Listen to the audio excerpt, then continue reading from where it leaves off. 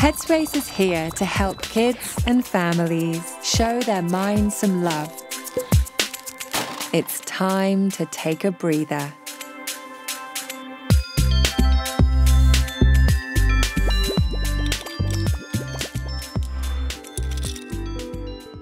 What do you miss most and why? I miss my granny because I miss sleeping over at her house and staying up late. So yeah, I miss her a lot. When I think of the people I miss most, I feel I feel sad and mad. I felt sad. I didn't get to see my friends and family.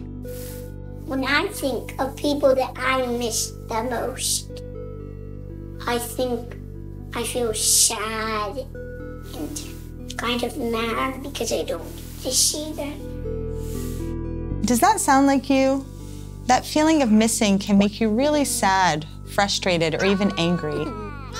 We've all had a tough time not being able to see the people we care about every day, and whatever you're feeling during this time is okay.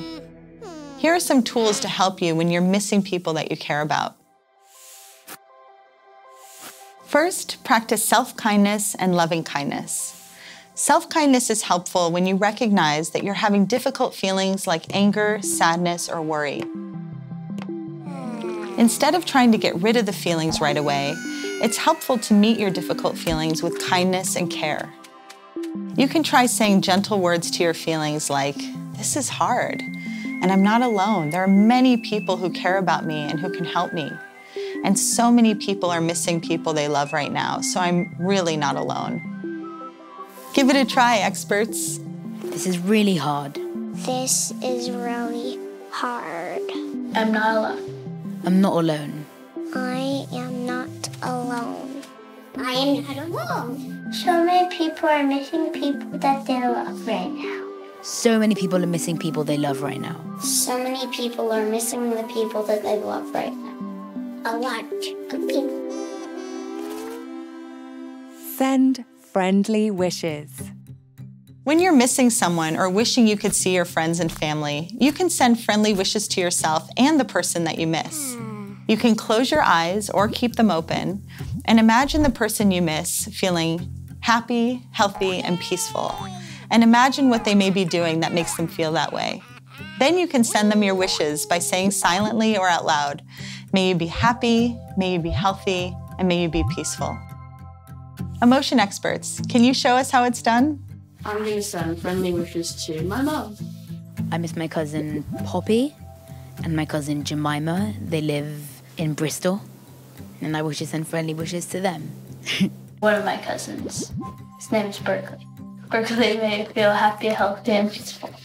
Sending friendly wishes to all of my friends from my class last year at school.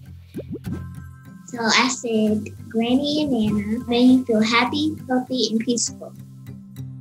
Exactly, you got it. Practice gratitude. Start a gratitude practice to focus on the things that you're grateful for right now. Sometimes our brain likes to focus on what's going wrong or what we don't have that we want. Practicing thankfulness or gratitude helps our brain to remember all of the wonderful things in our lives. We may remember how much we love pancakes or how cozy it feels to get cuddles before bed. This helps us feel happier and to keep a lookout for all the things we really like. Give it a try, experts. I, I get new masks that I can wear to school and that I get to see my friends and family in school now. Can you tell some of the things in your life that you're happy about and grateful for right now? That we can still hang out with people who we love. That I have a home, food, and that my parents allowed me to have my own business. Um, my family and friends, and the food I eat. How do you feel now? A little better, I hope. When I think of the people I miss most, I feel happy that I'm thinking of them and I know they're there and they're probably they're going through the same thing that we're, we're all going through. But I feel sad because I don't get to see them and that's just the sad truth of it. But like overall, it's sort of a mixed feeling, it's mixed feeling sort of thing. I felt more happy and more calm after doing the exercise. I also felt calm. I've got to say that. You done? All right. Thank you, Simone. Bye. I hope this makes everyone feel a little closer to their emotions and closer to each other. For more mindfulness from Headspace, subscribe to our YouTube channel or find us on the Headspace app.